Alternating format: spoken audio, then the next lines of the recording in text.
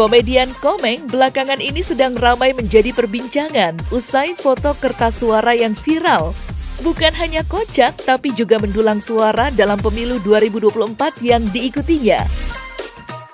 Bayangkan saja, Komeng sudah mendapatkan lebih dari satu setengah juta suara.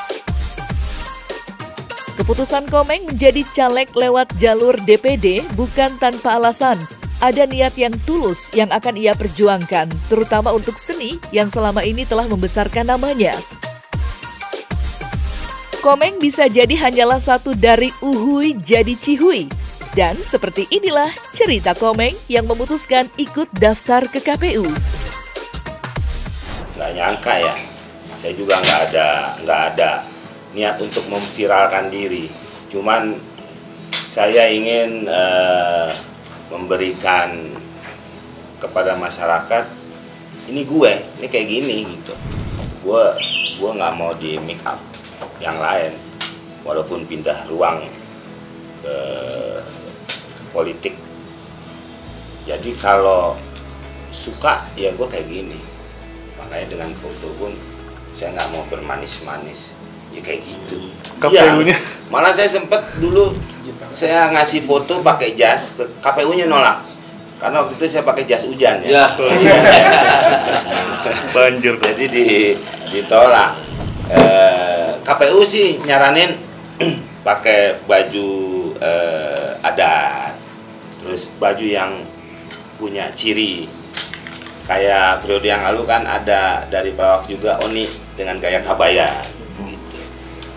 terus saya waktu itu uh, punya foto. Waktu itu juga emang mau ke sini waktu itu ada pertemuan dengan para seniman legend. Ya bang Bani ya, ya. Uh, waktu itu di sini ada ketemuan dengan Pak Muksin Alatas Ibu Titik Sandora, Erni Johan, Erni Johan, Margi Seger. Oh, Margi Seger. Kapan dia tahu kan? Iya, kan saya tahu deh. Di sini. Nah, saya pakai baju itu saya foto-foto lagi manasin mobil. Saya simpen di handphone. Nah, terus pada saat KPU minta uh, uh, foto untuk kertas suara, saya kasih itu. Saya kasih pertamanya bukannya mengiyakan, Pak saya bawa foto ini, dia malah ketawa. Terus boleh nggak pak? Ya boleh sih katanya gitu. terus? Ya udah kalau boleh. Melanggar nggak saya enggak ya udah. Saya udah nyerahin saya balik ditanya lagi. Ini bener apa? Nggak salah nih. Gitu lagi malah dia sendiri. Ya udah makanya saya tanya nih sama apa bapak semua. Boleh nggak? Ya boleh. Ya udah akhirnya pakai foto yang itu ini ini, ini rame kata-kata petugas partai ini rame nih rame nih saya juga nggak tahu apakah di tempatnya Bang Padi ada kata petugas partai di tempat yang lain juga ada. Tapi kalau kita pejuang politik. Pejuang politik namanya. Ya. nah, itu kan beda-beda nih nah, jadi DPD ini nggak ada petugas nih. Nggak ada bosnya. Nah, nggak ada bos. Yang nggak tahu nih nanti nih rapi apa pada berantem nih. Saya juga. makanya bosnya rakyat ya, ya bosnya rakyat. Rakyat. Ya saya tidak menutup kemungkinan saya juga nggak tahu ya hmm. nanti ke sananya apakah saya di partai? Saya saya saya nggak tahu. Saya nggak nggak bisa orang nebak. Karena saya memang ingin menghidupkan itu. Kalau semuanya masyarakat terhibur itu kan kalau dia akan bahagia trigger juga untuk menuju kesejahteraan. Kan ke situ sih. Coba kalau dia pada ruwet gimana mau kerja? Ya uh, pengennya semua gedung kesenian dihidupkan. Ya mungkin saya akan masuk nulisin seni dan budaya jadi yang gendut-gendut saya kurusin. Nanti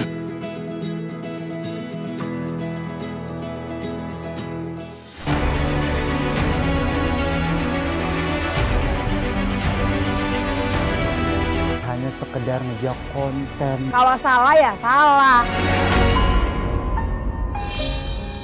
Bisa berlatih Mau tahu cerita lebih dalam tentang selebriti dan public figure? Saksikan bersama saya Vista Putri pukul 18.00 hanya di Cumi Visit di cumicumi.com.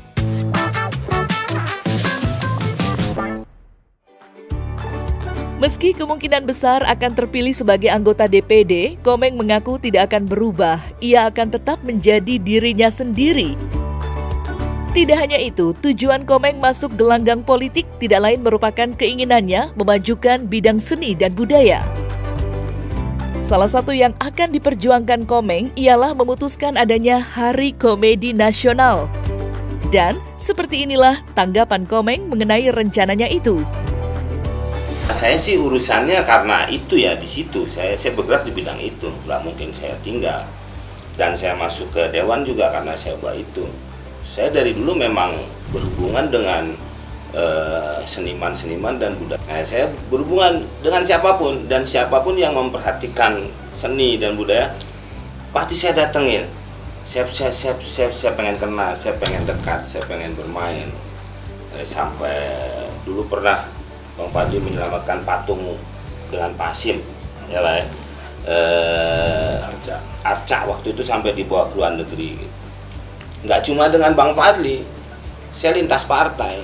Ada eh, mantan jenderal eh, Pak Agung Gumelar dia juga memperhatikan.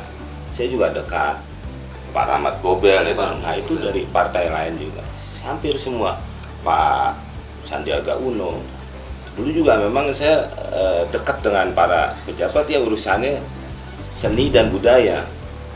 Waktu dengan semua hampir semua capres Pak Prabowo saya malah sebelum e, di lawak banget saya pernah ikut waktu Pak Prabowo pegang SMI e, eh, Satria Muda Indonesia. Satria Muda Indonesia. Tapi bukan yang sekarang dulu masih silat.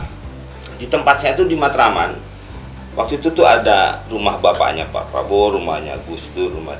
Itu sering lempar-lemparan batu. Nah Pak Prabowo tuh bikin waktu itu di dekat rumah saya ada satu liftingan eh, Bang Ampi. Ampi Tanu Jiwa. Ya itu. Nah jadi bikin SMI akhirnya perang batu tuh selesai semuanya jadi pada ikut Satria Muda Indonesia pada saat itu. Diajak kirap diajak pertemuan diajak jambore malah jadi waktu itu sempat berhenti perang batu tuh waktu. Dan saya dikasih tempat waktu itu di Jalan Bonang Sunan Bonang dekat patung Bung Karno dibikin kegiatan pada saat itu ya kalau dengan Pak Anies sendiri waktu itu jadi gubernur saya juga pengen mengangkat e, budaya dan seni komedi. Waktu itu ketua e, Paski Persatuan Seniman Komedi Jakarta tuh Jarwo. Tapi Jarwo tidak bisa e, nggak ngerti. Saya datang ke DPR saya ketemu Bang Padi tolong uh, hubungin Pak Anies. Waktu itu ditelepon walaupun waktu itu yang menemui bukan Pak Anies Pak Sandi waktu itu wakilnya waktu itu di, dikasih di tim tuh kita dikasih ya. per bulan ya. Itu yang paski oh, DKI, DKI DKI dengan Ganjar sendiri Ganjar pernah uh, bikin lapak UMKM saya pernah juga ngisi di situ ada channelnya gitu hampir semua capres saya Eh, kalau memang berhubungan dengan seni dan budaya ya saya dekat. Ya kalau Pak Prabowo sampai saya dilantik jadi persatuan seniman komedinya sampai di tempatnya Pak Prabowo di Polo Jagorawi Jagorawi di situ.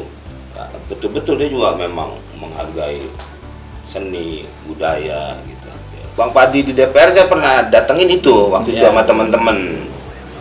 Pak ini saya mau hari komedi ini. Hmm. tapi kan uh, legislatif cuma bisa menyampaikan. Eksekusinya eksekutif pak ya, ya nah itu jadi ini saya udah punya teman orang dalam gitu. Tapi kok lama saya coba deh ke dalam nih diajak suruh ke dalam nih. Ini nggak tahu nih nanti saya di dalam. waktu itu kita oposisi. Iya. Nah jadi kalau siapa pun yang jadi presiden nih akan lagi bisa ya bang Bandi iya. ini, hari ini. Bagus lah ada hari komedi kan bagus dan penghargaan pada seorang seniman budayawan komedian yang legend ma maestro. Itu yeah. selamat itu luar biasa. Orang yang punya multi talenta. Yeah. Ya kalau beban sih ya biasa aja. Makanya saya saya waktu awal mulai dari foto juga ini gue gitu. Jadi makanya saya makanya biasa kan gua ransel nih ah saya anggap beban itu kan. Makanya udah coba nih lenggang dulu nih saya ke sana lenggang dulu nih karena kan nanti yang di sana yang nyiapin ya baju celana ya kan. Gak lah uh, untuk beban. Justru kalau ada beban malah jadi nanti susah untuk menyampaikannya ke eksekutif ya nggak tahu diterima apa enggaknya ya saya nggak tahu. Mungkin kalau nggak diterima itu jadi beban ya. Tapi kan saya belum dapat kabar nih diterima apa enggak. Untuk kayak hari komedi kayak apa gitu